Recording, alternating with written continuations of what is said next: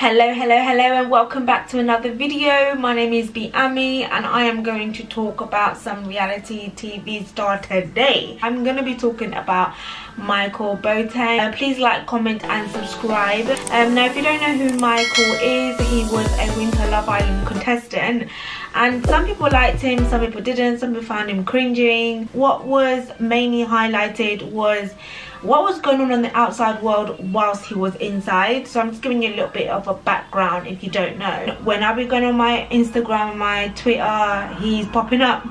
And for the most part he's not popping up for the right reasons. As in like somebody will make memes about him and priscilla or something. And i just thought to myself this guy is not getting a break but he would respond but one thing that i loved about mike is that he the way that he will respond is he wouldn't come for people like he would just state the facts and then just end it there. Like you know he would just say he's one two one two and then just leave it there. They were not talking about his love island affairs. They was talking about his personal life. He previously used to work in the police force. When he went in there were some allegations against him. It was quite bad. He recently came out and made a statement which i'm going to read. Mm-hmm. So he said today i had my final hearing regarding gross misconduct while serving at Greater Manchester Police. As you are aware, I have been subjected to public scrutiny. This involved members of the press harassing my family and friends and my public image being fainted through lies created by the press. Before today's hearing, the majority of the allegations I faced were dropped. I have now been cleared of false of all false allegations as well as being able to resume to work with public services including the GMP should I choose to. This has been a combination of over three years of mistreatment. Now that all the allegations have been dropped, the entire ordeal has come to an end. I give all glory to God. Hallelujah. I would like to thank Judy Khan, Garden Court Chambers, Zahar Hanford, solicitors Terry McMillan, and my family for their support and help during this time.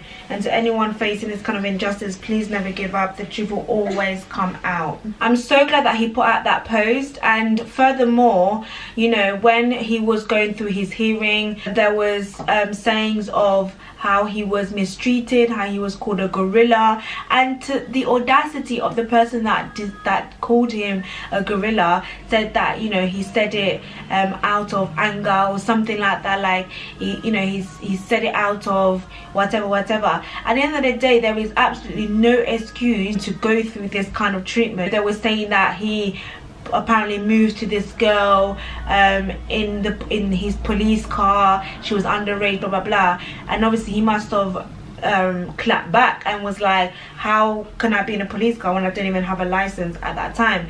And you know it's all of these things that like build up build up. And can you just imagine like your family your friends being harassed? And the worst part of it is your character being assassinated which is what they were trying to do. But thanks be to god like they did not succeed. They did not succeed like to come for someone's character you know and with such allegations as well that is absolutely disgusting and it's disgraceful. Like i'm glad that that's all done and all dusted and for anyone that was opening their their mouths can now just it can now be sealed about this matter and he can just move on.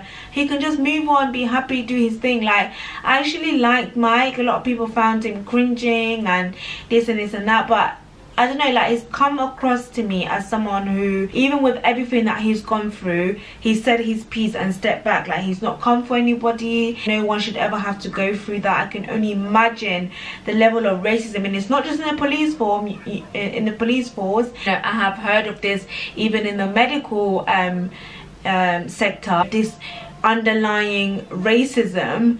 Um, and you know it's absolutely diabolical. Mm. but yeah guys like well done. Victory victory victory.